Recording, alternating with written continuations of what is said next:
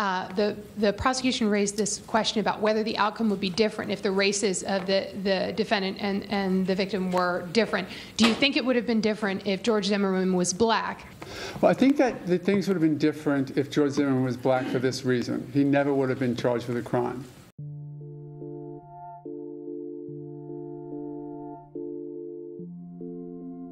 To make a statement like that, to suggest that somehow uh, a black um, accused black man accused of killing someone would have not been arrested. I mean, that flies in the face of everything we know about arrest rates and the probability of arrest. I mean, Mark O'Mara has been an attorney long enough to know that we do not exactly hesitate to arrest black people in this country. So, if what he means is that there would not have been a push by the civil rights community to arrest a black shooter. Well, I suppose that may be true, but the difference is a black shooter would have been arrested on day one. There would have been no need for a public outcry by anyone to have him arrested. The odds of such a shooter being believed uh, when he claims self defense, I think any reasonable person knows um, that uh, that they would not have been allowed to go home. They would not have remained free for six weeks. Uh, they wouldn't have been given bail in all likelihood had they been arrested. And we know this not just because I'm speculating, but we know from the record who gets arrested,